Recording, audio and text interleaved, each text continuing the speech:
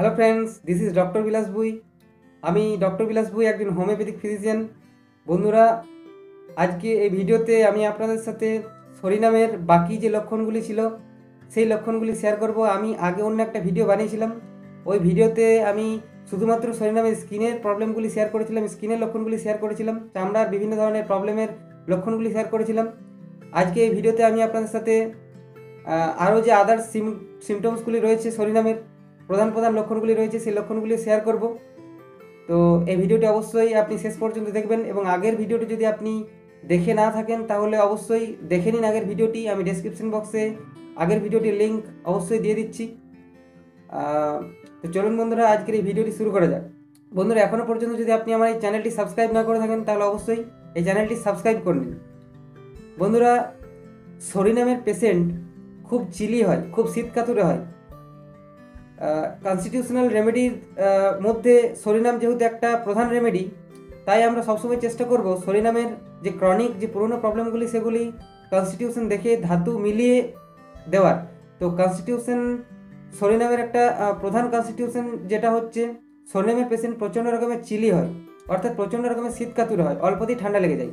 Even গরমের দিনেও সরিনামের patient মোটা জামা কাপড় পরতে চায়, পাতলা জামা কাপড় কোনো মতেই পরে না। সোনামের পেশেন্ট এতটাই চিলি হয়, এতটাই শীতকাতুরে হয়।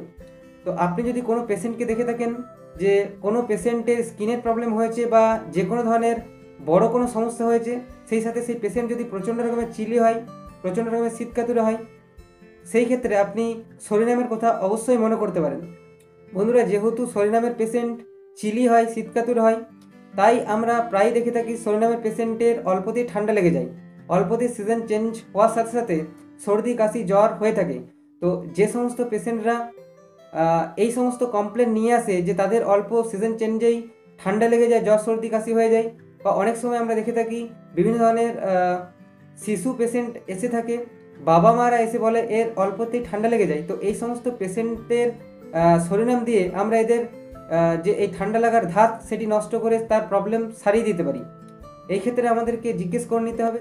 সে শীত, সেই পেশেন্টটি শীতকাতুরে কিনা। অর্থাৎ শীতকালে সে বেশি জামা কাপড় পরে, মোটা জামা কাপড় অন্যদের থেকে বেশি পরে কিনা, অথবা গ্রীষ্মের দিনও তার অল্পতেই ঠান্ডা লেগে যায় কিনা। এই সমস্ত লক্ষণগুলো যদি মিলে যায়, অর্থাৎ যদি পেশেন্ট প্রচণ্ড রকমের শীতকাতুরে হয় এবং অল্প সিজন চেঞ্জের সাথে সাথে যদি তার ঠান্ডা লেগে যায় জ্বর সর্দি কাশি হয়ে যায় রেকারেন্ট যদি তার অ্যালার্জিক রাইনাইটিস হতে থাকে বা এই ধরনের ফিভার বা এই ধরনের ঠান্ডা লাগার প্রবলেম হতে থাকে, সেই ক্ষেত্রে আমরা এই সরিনাম ওষুধটি দিয়ে তাকে সারিয়ে দিতে পারব।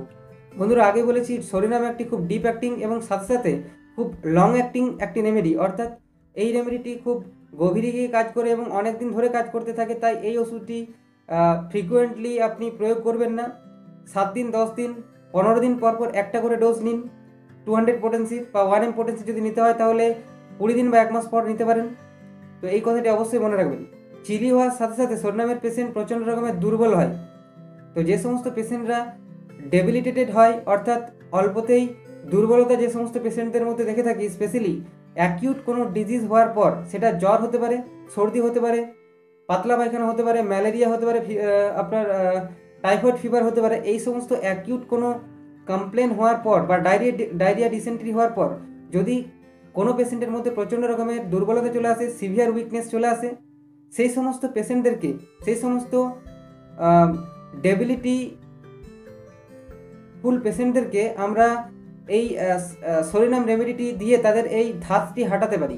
বন্ধুরা, আগের ভিডিওতে আমি আপনাদের সাথে শেয়ার করেছি, সরিনামের প্রত্যেকটা জায়গাতে প্রচণ্ড রকমের দুর্গন্ধ থাকে। স্কিনের প্রবলেমে যেমন দুর্গন্ধ আমরা পেয়ে থাকি স্কিনের বিভিন্ন প্রবলেমে ঠিক একই রকম প্রত্যেকটা ডিসচার্জে সরিনামের মধ্যে আমরা দুর্গন্ধ দেখতে পাই। যদি কান থেকে ডিসচার্জ হয়, অর্থাৎ যাকে অটোরিয়া বলা হয়, যাকে কান পাকা বলা হয় বাংলাতে, সেই ডিসচার্জে আমরা প্রচণ্ড রকমের দুর্গন্ধ দেখতে পাই। অথবা যদি আমরা লিউকোরিয়া দেখতে পাই, কোনো পেশেন্টের ফিমেল পেশেন্টের মধ্যে অর্থাৎ সাদা স্রাব বা শ্বেতপ্রদ দেখতে পাই সেই ক্ষেত্রেও আমরা দুর্গন্ধ দেখতে পাই। এমনকি আমরা সরিনামের পেশেন্টের মল, মূত্র ঘাম সব ক্ষেত্রেই, প্রত্যেকটা ডিসচার্জের ক্ষেত্রেই দুর্গন্ধ লক্ষণটি পেয়ে থাকি। তো এই দুর্গন্ধের লক্ষণটি আপনি যদি কোনো পেশেন্টের মধ্যে পেয়ে থাকেন, অর্থাৎ যে কোনো ধরনের স্রাবে কোনো পেশেন্টের মধ্যে যদি আপনি ওডোটিভ স্মেল দেখতে পান, দুর্গন্ধ দেখতে পান অথবা লিউকোরিয়া হোক বা কানপাকা বা আপনার অটোরিয়া হোক এই ধরনের ডিসচার্জে যদি আপনি দুর্গন্ধ দেখে থাকেন, সেই ক্ষেত্রে আপনি সরিনামের কথা মনে করবেন। সরিনাম একটা ডোজেই এই সমস্ত পেশেন্টদেরকে কিওর করে দিতে পারে। বন্ধুরা, সরিনামের খুব ইম্পর্ট্যান্ট এবং পিকিউলিয়ার একটা সিমটম হচ্ছে, সরিনামের পেশেন্ট সবসময় ক্ষুধার্ত থাকে। সরিনামের পেশেন্টের ক্ষুধা অনেক বেশি। অন্যান্য পেশেন্টদের থেকে সরিনামের পেশেন্টের মধ্যে আমরা ক্ষুধার লক্ষণটি বেশি দেখতে পাই। এমনকি আমরা সরিনামের পেশেন্টের মধ্যে খুব ইম্পর্টেন্ট যে পিকিউলিয়ার সিমটমটি দেখতে পাই সেটি হচ্ছে মধ্যরাত্রে অর্থাৎ মিড নাইটে সোনামের পেশেন্টের খিদে পেয়ে যায়। এত বেশি খিদে পেয়ে যায় মধ্যরাত্রিতে বা মিড নাইটে বারোটা একটার সময় যে তাকে রাত বারোটা একটাতেও উঠে খাবার খেতে হয়। তো এই লক্ষণটি খুব ইম্পর্টেন্ট পিকিউলের একটা লক্ষণ সরিনামের। তা এই লক্ষণটি যদি আপনি কোনো পেশেন্টের মধ্যে দেখতে পান তার যে রোগী থাক না কেন, আপনি সরিনামের কথা ভাবতে পারেন। এছাড়াও বন্ধুরা, আমরা সরিনামের পেশেন্টের মধ্যে এক ধরনের হেডেক দেখতে পাই, এক ধরনের মাথা ব্যথা দেখতে পাই। যে মাথা ব্যথা খাবার খাওয়ার পরেই রিলিফ হয়ে যায়। এছাড়াও এই যে মাথা ব্যথা, এই মাথা ব্যথাটা পিরিয়ডিক হেডেক হয়ে থাকে। অর্থাৎ দুদিন তিন দিন পর পর এই মাথা ব্যথাটি রেকারেন্ট হয়। তো কোনো পেশেন্টের যদি ক্রনিক হেডেক হয়ে থাকে, সেই হেডেক যদি দুদিন তিন দিন পর পর ফিরে আসে অ্যাগেন অ্যান্ড অ্যাগেন রিপিটেডলি অর্থাৎ যদি হতে থাকে তার মাথা ব্যথা এবং সেই মাথা ব্যথা যদি খাবার খাওয়ার পরেই আরাম হয়ে যায়, সাথে সাথে যদি মিড নাইট হাঙ্গ্রিনেস কোনো পেশেন্টের অর্থাৎ ওই পেশেন্টের মধ্যে থেকে থাকে এবং সরিনামের আরও দু একটা কনস্টিটিউশনাল সিমটম যদি আপনি পেয়ে যান, সেই পেশেন্টকে আপনি সরিনাম টু হান্ড্রেড পোটেন্সি একটা ডোজ দিন, পনেরো থেকে কুড়ি দিন পর আপনি খুব ইম্প্রুভমেন্ট দেখতে পাবেন এবং যদি ইম্প্রুভমেন্ট দেখতে পান, তাহলে এই ক্ষেত্রে আরও দুই থেকে তিনটি ডোজ দশ থেকে পনেরো দিন পর পর দিতে থাকুন, দশ থেকে পনেরো দিনের গ্যাপে দিতে থাকুন। দেখবেন সেই পেশেন্টটি কমপ্লিট কিওর হয়ে যাবে। তার যে মাথা ব্যথা, সেই মাথা ব্যথা পুরোপুরি সেরে যাবে এবং পেশেন্টটি পুরোপুরি সুস্থ হয়ে যাবে। বন্ধুরা সরিনামের পেশেন্টের মধ্যে আমরা প্রচণ্ড রকমের ঘাম দেখতে পাই পার্সপিরেশন বা সোয়েট দেখতে পাই। স্পেশালি অ্যাকিউট কোনো ডিজিজ থেকে উদ্ধার পাওয়ার পর সেই পেশেন্টের মধ্যে এই ঘামের প্রকোপ বেশি দেখা যায়। অর্থাৎ যদি ডায়রিয়া ডিসেন্টারি বা ম্যালেরিয়াল ফিভার বা টাইফয়েড ফিভার এই সমস্ত রোগ যদি কোনো পেশেন্টের হয়ে থাকে এবং সেই পেশেন্ট এই সমস্ত রোগ থেকে মুক্তি পাওয়ার পর তার যদি প্রচণ্ড রকমের ঘাম হয়, অর্থাৎ তার আগে যেরকম ঘাম হতো, তার থেকে যদি বেশি ঘাম হতে থাকে, সেই ক্ষেত্রে আমরা সরিনামের কথা মনে করতে পারি। সরিনামের ঘামের আরেকটা প্রধান লক্ষণ হচ্ছে, যত বেশি ঘাম হবে সরিনামের পেশেন্টের তত পেশেন্ট রিলিফ ফিল করে রিল্যাক্স ফিল করে। অর্থাৎ যদি আপনার মাথায় ব্যথা হয়ে থাকে এবং আপনার যদি প্রচণ্ড রকমের ঘাম হয় সেই ক্ষেত্রে, তাহলে এই ঘাম যত বেশি হবে, আপনার মাথা ব্যথা কমতে থাকবে। আরও যে সমস্ত শরীরের কমপ্লেনগুলি হয়ে থাকে, সেই সমস্ত শরীরের কমপ্লেনগুলিও কমে যাবে যদি পেশেন্টের ঘাম হয়। তো এই লক্ষণটি আমরা ন্যাট্রামিওর হোমিওপ্যাথিক যে ওষুধ আছে সেই ওষুধটির মধ্যেও দেখে থাকি। Perspiration relieves all the complaints, all the symptoms. তো এই লক্ষণটিও আপনি শরীরামের কোনো পেশেন্টের মধ্যে যদি দেখতে পান তাহলে তাকে সরিনাম দিন। অবশ্যই আপনি রেজাল্ট পাবেন, তাতে সেই পেশেন্টের যে রোগী হয়ে থাক। যদি কোনো পেশেন্ট অ্যাকিউট ডিজিজ থেকে উদ্ধার পাওয়ার পর অ্যাকিউট ডিজিজ সেরে যাওয়ার পর তার যদি আগের অবস্থা ফিরে না আসে, অর্থাৎ পেশেন্ট যেরকম এনার্জেটিক ছিল আগে, সেই রোগটি হওয়ার আগে, সেটা ডায়রিয়া ডিসেন্ট্রি বা কোনো অন্য বড় প্রবলেম যদি হয়ে থাকে, সেই রোগটি অ্যাকিউট রোগটি হওয়ার আগে, তার যেরকম এনার্জি ছিল, সেই এনার্জি যদি ওই অ্যাকিউট ডিজিজটি থেকে মুক্তি পাওয়ার পর না ফিরে আসে অথবা যদি সেই অ্যাকিউট ডিজিজটি থেকে মুক্তি পাওয়ার পর যদি খিদে ঠিকমতো, আগের মতো ফিরে না আসে, কাজে ঠিকমতো মন না লাগে, সেই ক্ষেত্রে আপনি সরিনামের কথা মনে করতে পারেন। এই ক্ষেত্রে সরিনাম যদি আপনি একটা ডোজ সেই পেশেন্টকে দিয়ে থাকেন, তাহলে আপনি সেই পেশেন্টটাকে ঠিক আগের মতো সর্বাঙ্গীন সুস্থতা সেই পেশেন্টকে দিতে পারবেন। তো এই কথাটিও আপনি অবশ্যই মনে রাখবেন, এটিও সরিনামের খুব ইম্পর্টেন্ট একটা লক্ষণ। বন্ধুরা, আগের ভিডিওতে আমি বলেছি, যদি কোনো জায়গাতে কোনো ওষুধের সঠিক লক্ষণ রয়েছে এবং সেই সঠিক লক্ষণ মিলিয়ে আপনি সঠিক ওষুধ দিচ্ছেন, অর্থাৎ আপনার ধরুন ক্রনিক হেডেক রয়েছে, সেই ক্রনিক হেডেকে আপনি লক্ষণ মিলিয়ে বেলেডোনা দিচ্ছেন। অর্থাৎ বেলেডোনার যে সিমটমসগুলো রয়েছে, সেই সিমটমসগুলো মিলিয়ে আপনি বেলেডোনা দিলেন। কিন্তু দেখা যাচ্ছে বেলেডোনা দেওয়ার পরও কোনো রেজাল্ট পাচ্ছেন না, অথবা অন্য কোনো জায়গাতে সেটা আপনার আর্থরাইটিস পেন হতে পারে কোনো জায়গার।